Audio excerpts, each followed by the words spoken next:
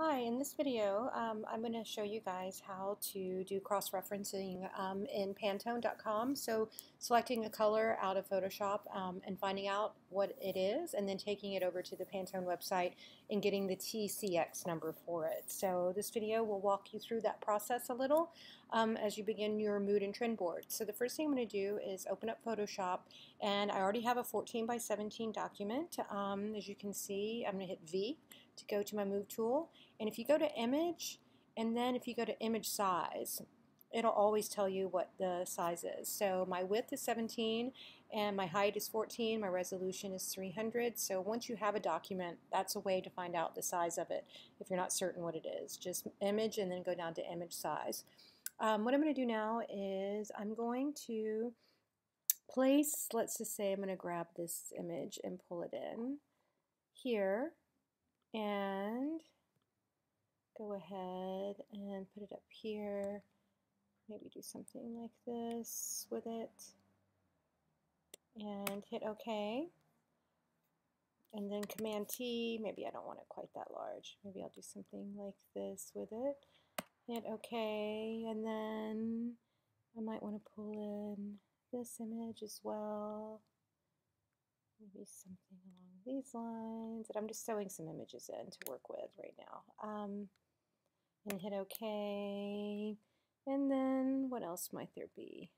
Um, you know, maybe I want to take this image again and duplicate it, which is Command J. And so as you can see over here, that has duplicated the layer. Um, now it's on top of it, and so what I can maybe do is take this image and then hit Command T, and then you can come up here to Edit and Transform, and you can do a couple of things. You can flip it horizontal and it goes the other direction like this. So you can play around with the direction that it's coming in. Um, let's go back. Command Alt Z. Let me do this and then Command Z. Also Command T and go to Edit, Transform, and Flip Vertical.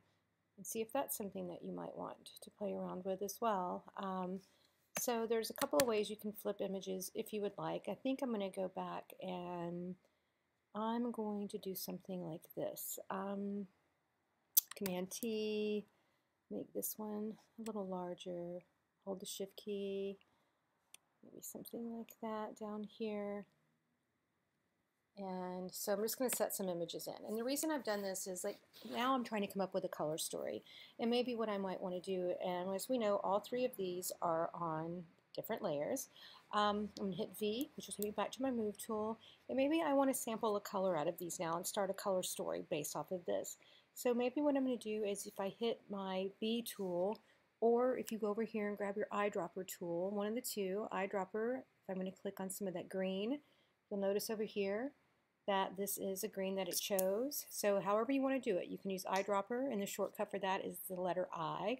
Or you can, if you're in your brush tool already, um, what you can do is um, hit the Alt key and it'll sample as well as a shortcut. So, oh, that's a lovely pink. Maybe I'll go ahead and use that one. But if you notice when my brush tool, look what's happening here. Um, please remember that's because my layer is not rasterized. So you can right click on it or two finger click on a Mac and pull this up, rasterize layer. If you don't have a Mac, you can come up here and go to layer and you'll find um, rasterize right here.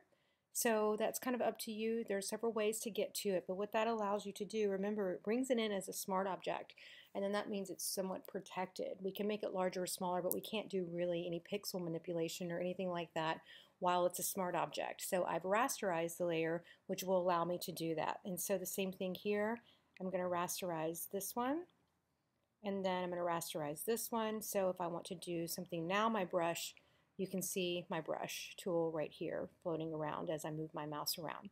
Um, so I'm going to go back down to this one, and then, like I said, you can either use the eyedropper tool, which I'll hit I, and it'll take me back to that.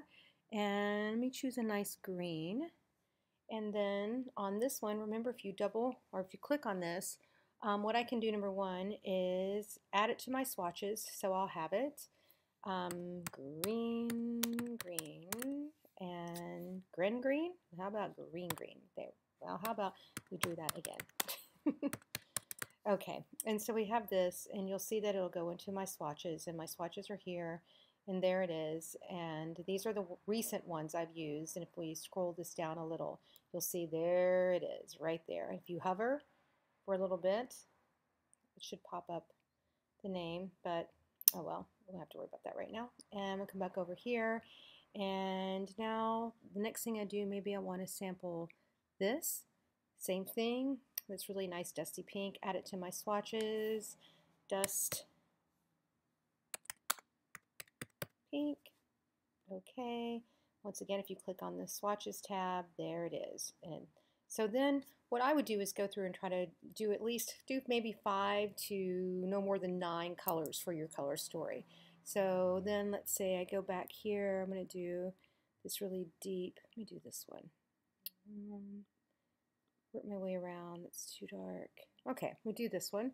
So once again, I'm going to add it to my swatches, um, lav, and say okay, and then, and so on and so on. So let me go grab one here and add that to my swatches. And I'm just going to do this okay. And you can see right here, they're, they're coming um, here at the bottom. So we started with the green, so I've got four. Let me go over here and get like a really nice, almost white pale. Okay. And go back to color. There it is. Um, add to swatches. Okay.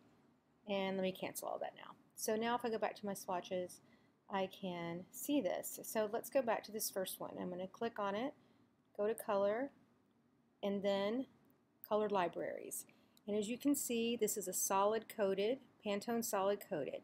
And the number is 5773C.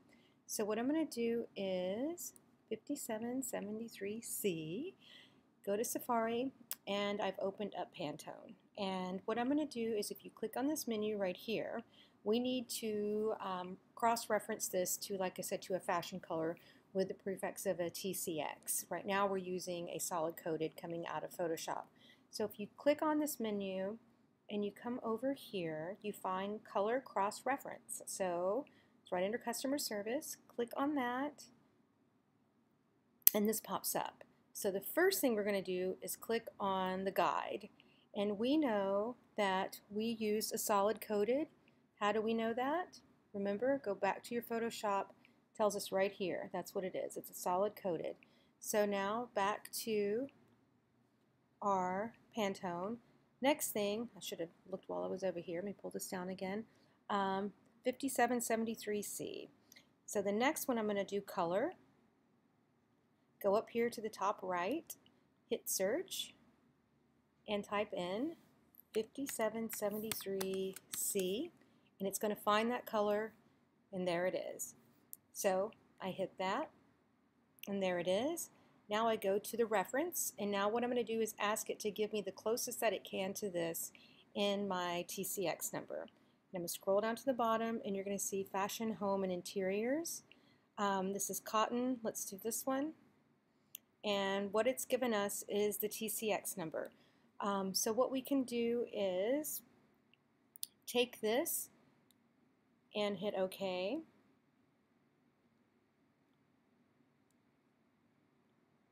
And let's say over here, maybe I wanted to start doing my um, color story on this page. So what I'm going to do is add another layer. Um, go over here and grab my elliptical marquee. Since we have donuts, maybe I'll make circles. And so I'll hold the Alt key and the Shift and draw from the center. And we've done this before and you know how to do this. Edit, Fill. I'm going to fill it with the foreground color, and the reason I'm choosing foreground because it's this color here. Hit OK, and then deselect, and then I can do this for each of my swatches. So I'm going to come back over here, grab this one, go back here, duplicate the layer, hit V, hit, put it right on top of it, and then hit this, go over here, grab your magic wand, select it, and then make sure the swatch is selected here, in my color, which it is, and then hit File, or I'm sorry, edit, fill, and foreground color. And this is one of the very first things we did in this class, remember? Um, and so back to V, this time I'm just going to Alt drag. Remember you can Command J if you just duplicate the layer as well. Every time I do this, it makes a new layer. Go back to my swatches, and my next color is this one. So it's right up here. I can see that that's it. Grab my magic wand, click on it, edit, fill, foreground color, and deselect. V for the move tool, Alt, drag, or Command J. Come back over here, do this one, and then you'll get the momentum going. And here we go, edit, fill, foreground color, and then we'll do one more. Alt, drag, or hit V first, Alt, drag. And so Photoshop is letting me know that they are all spaced um, the same. So now I'm going to hit this one with the magic wand, edit, fill, uh, make sure I select this. Let me cancel. I got ahead of myself. So I'm going to select this right here. I know it's the next one I'm using because it went right there in the front. And so now back to edit, fill, and let's do foreground color. Yes. So let's say these are now the color stories that I want to use. Um, and remember in one of our very first exercises, I'm going to come down here, click this one, hold the shift key, and click all the way up to the very last one. And what it does is it highlights all of those layers. And so I can move them as one if I would like. So maybe I move them at the bottom. I can hit Command T and rotate them. And then as you start to go towards the top, if you hold the shift key, the computer will straighten it up for you. And the reason I'm able to do this is because they are all grouped over here. I have them all selected at the same time.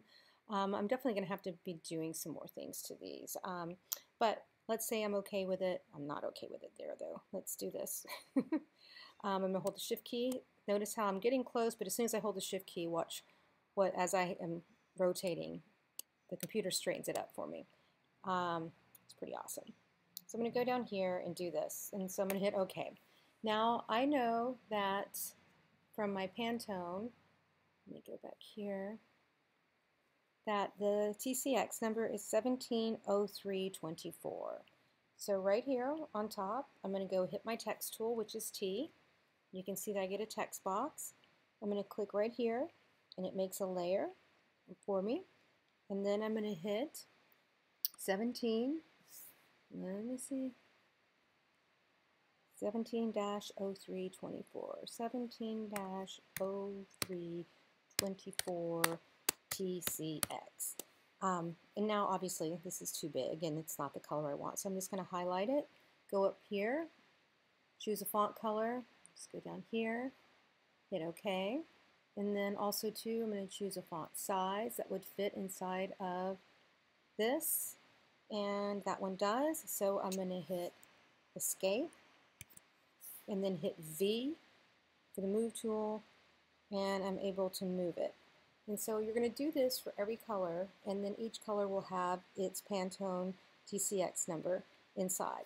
Alright, so that is how you go and do the cross references with Pantone and working and pulling colors out of Photoshop to do that. Alright,